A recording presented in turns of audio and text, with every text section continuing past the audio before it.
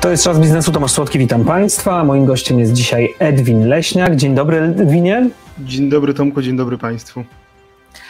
Dlaczego polityka? Mm, Tomku, dlaczego polityka? Dlatego, bo chcę po prostu zmieniać kraj. Kocham te emocje, które towarzyszą kampanii wyborczej. Y, czerpię po prostu z tego radość, z działalności, która przynosi mm, naprawdę realne efekty z perspektywy czasu jakby porównując swoje działania na przestrzeni lat, gdzie jeździłem, co robiłem, e, jak spędzałem ten czas, to widać realne efekty, w szczególności jak się opuści wielkie miasta i się wyjedzie w głąb w kraju, na mniejsze miasta, mm, nie wiem, miasta powiatowe, miasteczka, wsie, naprawdę, naprawdę widać, widać bardzo fajne efekty. Marzysz o Polsce kolorowej i uśmiechniętej, dość odważnie przyznam, jak na dzisiejsze czasy.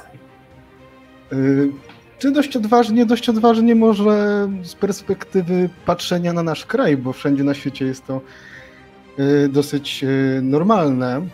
Mm, ale tak, y, marzę o Polsce uśmiechniętej, kolorowej, tęczowej. Chciałbym, żeby każdy w naszym kraju czuł się bezpiecznie, mógł spełniać swoje marzenia, pasje, nie bał się iść z drugą połówką za rękę po ulicy, no czy po prostu, no po prostu chodził uśmiechnięty, tak, mógł się cieszyć z życia, nie martwiąc się o żadne, nie wiem, problemy, o to, że może zostać, nie wiem, pobity, zwyzywany, zwolniony z pracy, mobbingowany ze względu na, nie wiem, orientację, kolor skóry, czy jakiekolwiek inne czynniki.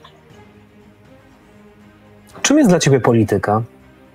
Y, dla mnie polityka jest y, działaniem, i dążeniem do różnych celów. Oczywiście myślę tu o celach większych, takich jak chociażby otworzenie oczu Polakom na chociażby kwestie równouprawnienia, co niestety w Polsce kuleje i to kuleje, głupio aż przyznać, ale przez wszystkie rządy, jakie były do tej pory. Żaden się jakby za to porządnie nie wziął, e, ale również mm, o tych mniejszych, lokalnych problemach, społecznościach.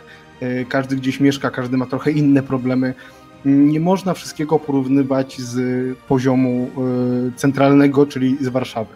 Trzeba pójść do ludzi, pojechać, porozmawiać, e, zobaczyć, co tam u nich słychać, być po prostu swojakiem, a nie pojechać mm, w garniturkach i udawać nie wiadomo kogo. Trzeba po prostu, żeby ci ludzie czuli, że przyjechał swój do swego, rozumie ich i chce z nimi współpracować. Jak stworzyć coś z niczego? Jak stworzyć coś z niczego? Myślę, że po prostu trzeba bardzo mocno chcieć i do tego nieprzerwanie dążyć. Marzenia i cele, jak sam pewnie dobrze wiesz, Tomku, nie spełniają się same tylko od ciężkiej pracy i no, codziennej samorealizacji i dyscypliny. Rzeczywistość zmieniamy tak naprawdę my, wszyscy swoją codzienną aktywnością i jakąś działalnością mniejszą bądź większą. I po prostu cieszę się, że mogę pod względem politycznym dołożyć do tego swoją cegiełkę. Na zakończenie naszej rozmowy powiedz jeszcze, jak widzisz siebie za 10 lat. Mm, jak widzę siebie za 10 lat?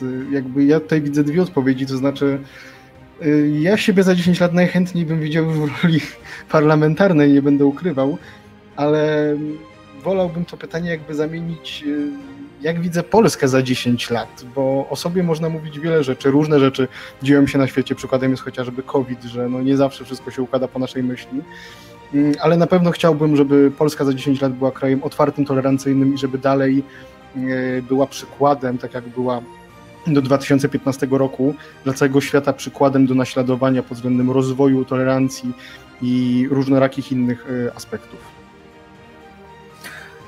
Co jeszcze robisz niekonwencjonalnego? Mm, co robię niekonwencjonalnego? Wydaje mi się, że właśnie mm, polityka w tak młodym wieku jest czymś niekonwencjonalnym. Y, to znaczy, patrząc na moich y, rówieśników, y, czy rówieśników rówieśników, że się tak wyrażę, mm, mało jakby widać zainteresowania jakąkolwiek polityką. Nawet jeżeli się zapyta o osoby decyzyjne w kraju, to nie za bardzo są zawsze w stanie wskazać, kto pełni jaką rolę w państwie. Oczywiście, no wiem, prezydent, premier to rzecz jasna wiedzą, ale wymienić ministrów, kto się czym zajmuje, kto za co odpowiada, bądź chociażby, nie wiem, kto wprowadził e, Polskę do NATO czy do Unii, również nie są, niestety, ale nie są w stanie wskazać. E, więc myślę, że niekonwencjonalna jest właśnie polityka, tylko nie polityka pod względem bycia karierowiczem, czego przyznam szczerze nienawidzę, e, tylko po prostu z ciężkiej pracy u podstaw, z uczenia się, korzystania z wiedzy starszych i po prostu pomaganiu ludziom dookoła, bo jednak możemy stworzyć, żeby świat był piękniejszy i bardziej uśmiechnięty. Bardzo dziękuję za rozmowę, Edwin Leśniak. Życzę Ci tego, życzę Polsce tego. No i dziękuję za rozmowę.